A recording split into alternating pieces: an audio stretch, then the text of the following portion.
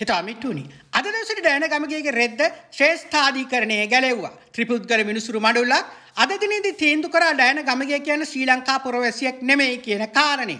ඒ විතරක් නෙමෙයි මේ මහම්මණ්ඩිට මේ රටේ මන්ත්‍රී ධූරයක් හෝ ඇමතිකමක් දැරීමට සුසුකම් නැති බව ශ්‍රේෂ්ඨාධීකරණය තීන්දුව කරා. කොහොමතත් දෑන ගමගේ මේ සලුපට ගලවන්න නැත්තා රෙද්ද ගලවන්න.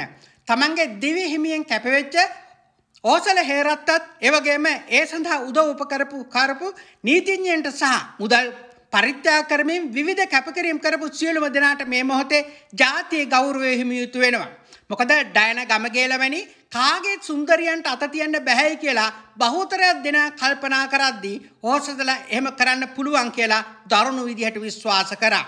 එවිතරක් නෙමෙයි අභ්‍යාචනාධිකරණයට ඩයන ගමගේට කරන්න පුළුවන් හැම බලපෑමම කරලා ඇය කොහොම හරි අභ්‍යාජනාධිකරණයෙන් ලිස්සල ගිය අවස්ථාවේදී ශ්‍රේෂ්ඨාධිකරණය දුන්න මේ තීන්දුව අතිශයෙන් වැදගත් වෙනවා. විශේෂයෙන්ම දේශපාලඥයෝ ඉස්සරහා කොන්ද දමාගෙන දෙකට නැවිලා පස්ස දික් කරන නඩුකාරයෝ ඉන්න රටක කිසිසේත්ම දේශපාලඥයන් ගණන් නොගෙන පවතින නීතියට අනුව තීන්දුව දුන්න මේ විනිසුරුරු තුන් දෙනා අපි අගය කළ යුතු වෙනවා. ඒ වගේම රැකගත යුතු වෙනවා. මිත්‍රෝරණි ඩයන ගමගේ ජාතික ලැයිස්තුවෙන් පාර්ලිමේන්තුවට ගෙනාවේ සජිත්.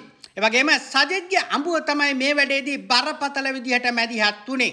විශේෂයෙන්ම ඩයන ගමගේ මුළු හේතුවක් කොටවත් ජාතික ලැයිස්තුවෙන් පාර්ලිමේන්තුවට ගෙවන්න ගෙනෙන්න එපයි කියලා සජිත් වටේ හිටපු බහුතරයක් දෙනා ඉල්ලද්දී මේ වැඩේට මැදිහත් වුණේ බොහොම පැහැදිලිව සජිත්ගේ අඹුව.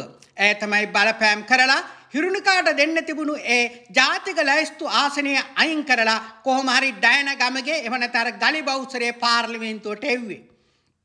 මිට්ටෝරණි ඩයන ගමගේල වැනි කාගේ සුන්දරියෝ මේරටේ කාලකන්නේ දේශපාලඥන්ට අවශ්‍යයි. මොකද මේ අම්මණ්ඩිල තමයි කතා කරන්න මාතෘකා හදලා මේරටෙන්ගේ මිනිස්සුන්ගේ අවධානය වෙන තැන්වලට යම් කරලා මේ කාලකන්නේ දේශපාලුවන්ට හොරකම් කරන්න මැරකම් කරන්න තාක්කඩිකම් කරන්න කුපාඩිකම් කරන්න උදව් උපකාර කරේ.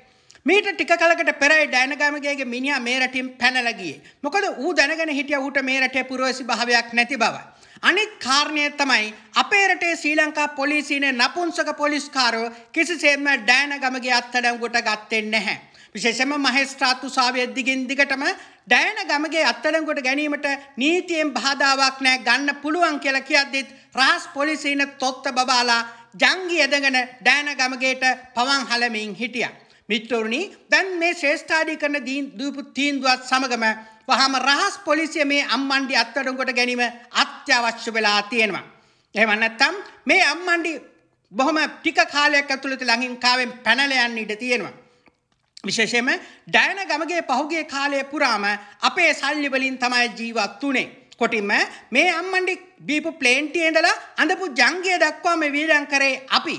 මේ අම්මන්ඩිට ඉස්සරහින් පස්සෙන් යන්න බල්ල වගේ පොලිස් කාරය දුන්නේ අපි.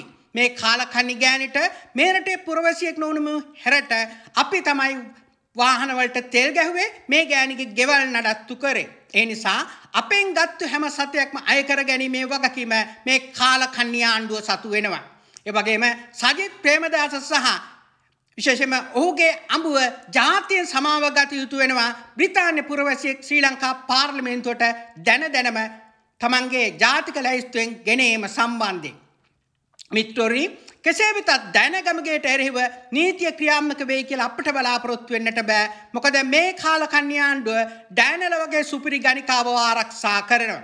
ශ්‍රී ලංකා පොලිසිය ඩයන ගමගේල වැනි සුපිරි ගානකාවෝ පාර්ලිමේන්තුවවල අහිංසක වීදි ගණිකාවෝ හිරේ යමන එක තමයි කරගෙන යන්නේ. ඒ නිසා මේ කාලකන්ණි ක්‍රමය වෙනස් කරන්න පුළුවන්. ඒ ගැන දැක්මක් තිබෙන සමාජ දේශපාලන කණ්ඩායමක් සමග අපි පෙමුණට යා. මිත්‍රනි, අර්ගන්තීය ජයග්‍රහණ නිරමෙතුම ඔබට සිහිපත් කරමින් මම ඔබෙන් සමුගන්න. ඔබ සැමට ජය